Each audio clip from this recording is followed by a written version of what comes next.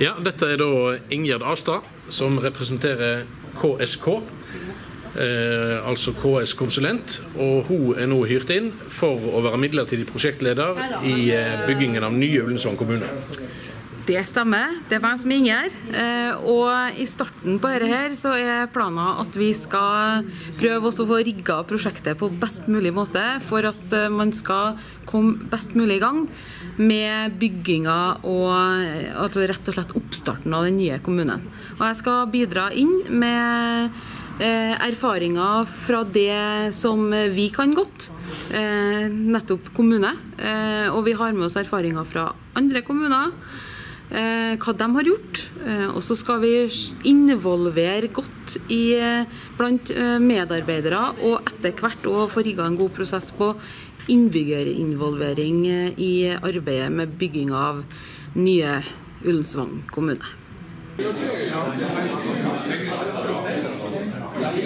I dag er første dagen at jeg har fått møtt alle representantene i de tre kommunene. eh, Kommunestyrerepresentantene.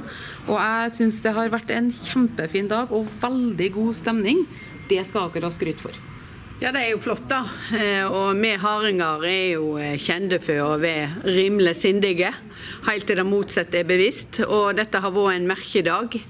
Så nå ser vi fram gjennom eh, til å arbeide mot et felles mål og få en ny, god Ullensvang kommune med gode tjenester til innbyggerne. Ja, nå er det jo snart et år siden kommunene fatta sine endelige vedtak om sammenslåing, og folk har kanskje lurt på hva det er som skjer. Eh, til nå har det ikke skjedd all verden, men ifra i dag er dette arbeidet formalisert, og nå vil en til å merke at det blir jobba med dette temaet. Og jeg tror også det er fort at, at nå bør en prioritere å få fram saker som både folk og politikere har tro på i å skape den nye kommunen.